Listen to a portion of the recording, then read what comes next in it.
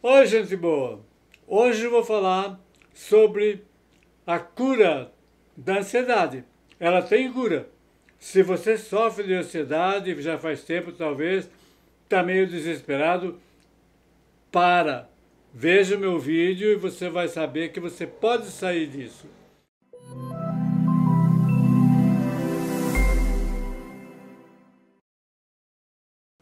Para quem não me conhece, eu sou Legário de Godoy, psicólogo clínico há quase 60 anos, pioneiro no Brasil. Esse é o segundo vídeo da série Vencendo a Ansiedade. No anterior, eu apresentei os sinais da ansiedade. O foco dessa série é você dominar completamente a ansiedade e ter uma vida calma, tranquila, feliz. Portanto, acompanhe a série. Bom, vamos começar recapitulando o que, que é a ansiedade doentia. A ansiedade doentia é aquele sentimento de inquietação, de falta de paz, de desassossego que uma pessoa sente quando ela está ameaçada ou com medo ou que tem que dar conta de uma tarefa que ela não é capaz. Enfim, é sempre a pessoa sente como uma ameaça. Mas ela não sabe que ameaça que é. É um estado constante, é, aquilo perdura noite e dia, ela está pensando naquilo, perde o sono e não encontra uma solução. Eu vou dizer para vocês, tem solução, toda ansiedade, por pior que seja, a pessoa pode ser curada.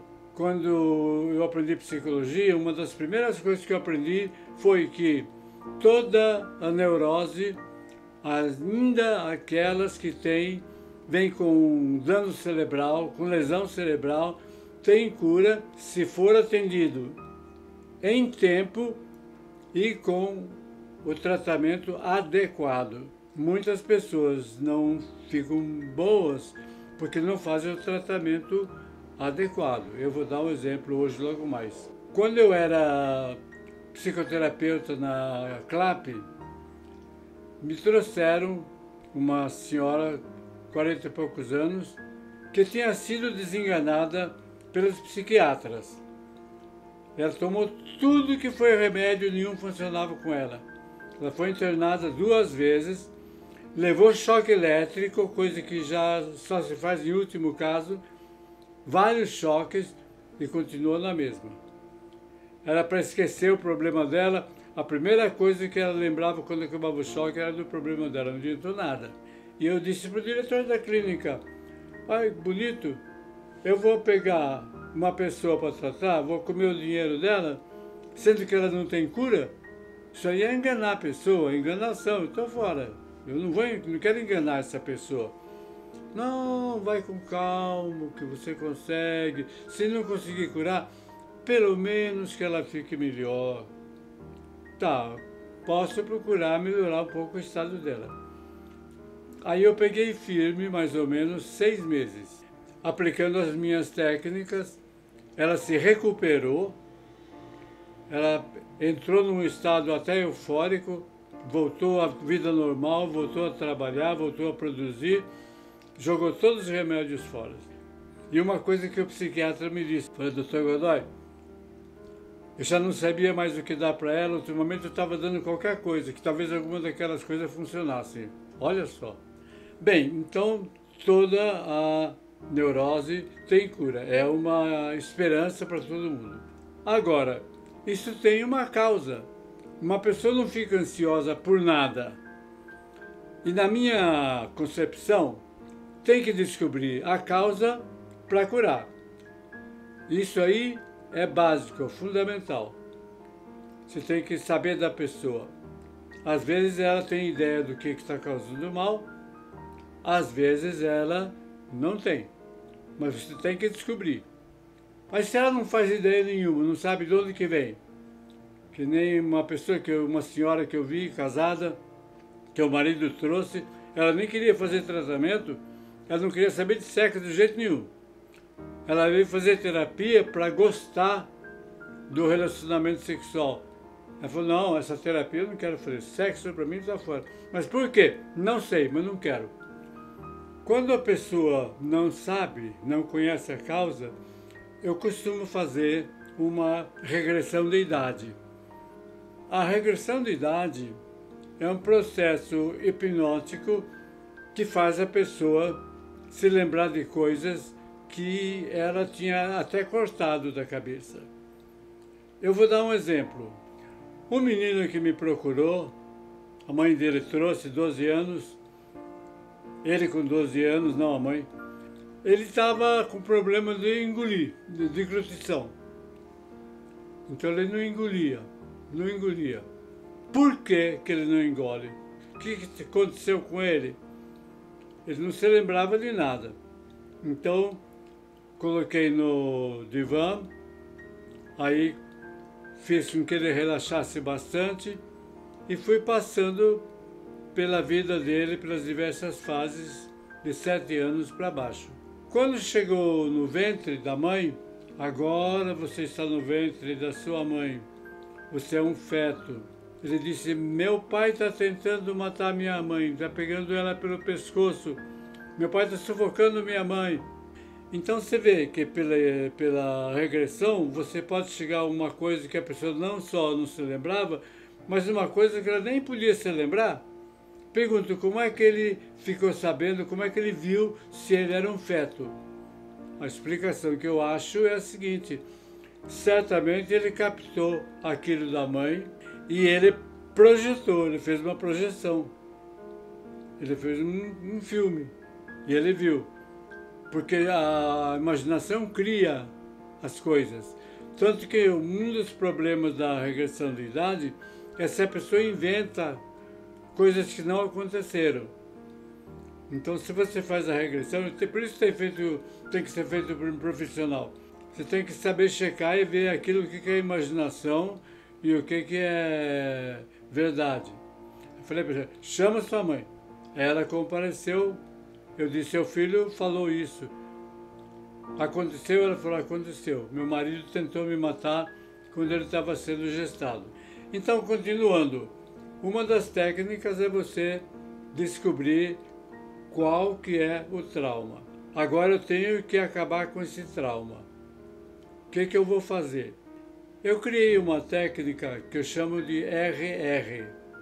É reviver e reagir tem que reviver a situação ruim e você tem que reagir na sua mente, tem que transformar aquilo numa coisa boa, ou tem que superar aquilo. No caso do menino, ele reviveu no próprio processo de hipnose, ele reviveu. Aí ele reagiu, ele falou, se é isso aí, então não tem problema. E ele passou a engolir direito. Aquilo não foi necessário fazer um tratamento. Agora, essa reação pode se dar também de outras formas. Eu vou ensinar o que é o reagir. Eu tratei uma vez de uma garota que o pai dela, para enriquecer, o vestido dela era feito de pano mais barato que tinha, o caderno dela era feito de papel de embrulho costurado. Enfim, ela ia para a escola de chinelo. Você imagina, diante dos outros alunos, o que, que ela passou. Então, daí veio não só uma timidez muito grande, mas o medo da rejeição da sociedade. Para ela, todo mundo ia rejeitar, todo mundo sabia do passado dela. No entanto, quando ela veio, ela já tinha dinheiro, ela estava bem de vida, o pai dela já tinha enriquecido, então não tinha mais aquele motivo de ela ficar encolhida, ela não tinha mais. Ela só tinha que soltar. Então o que, que eu fiz? Ela vai reagir ela vai enfrentar o povo de hoje. Ela vai enfrentar. Ela vai reagir enfrentando, que a, o, o medo só se vence enfrentando. Então, dei para ela um exercício gravado, aonde ela descia uma escadaria, muito bem vestida, a sala cheia só de homem. Mas todos olhando para ela, aplaudindo, gostando, elogiando, Aí ela subiu numa mesa, os homens puseram em cima da mesa e ela devia dançar ali para eles verem. ela dançando. Então ela tinha uma roupa de balé por debaixo, ela foi tirando as peças de roupa até um certo ponto, e aí ela dançou. Isso na imaginação dela. Então ela enfrentou uma plateia na própria imaginação. Eu exagerei no caso, do zero para o mil, fazendo ela de repente descer numa escada e fazer um striptease, de propósito, para acelerar a terapia. Algumas pessoas não são capazes de fazer isso.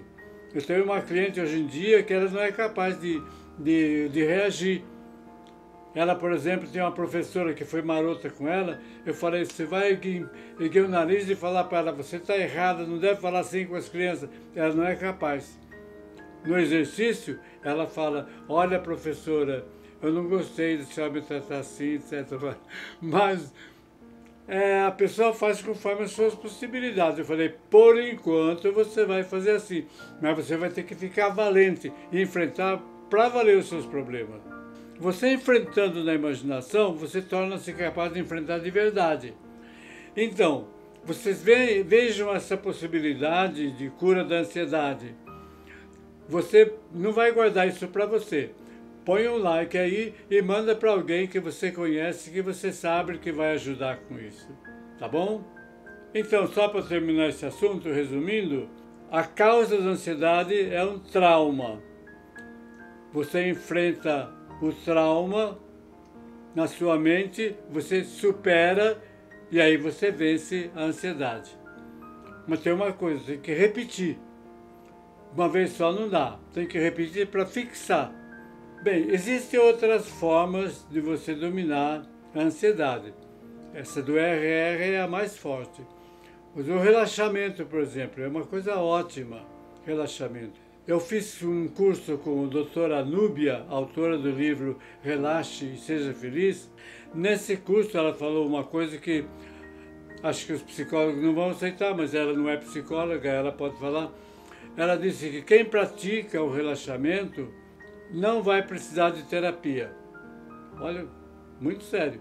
Então você vê o valor do relaxamento. Eu tenho exemplos de pessoas que tiraram muito proveito através do relaxamento.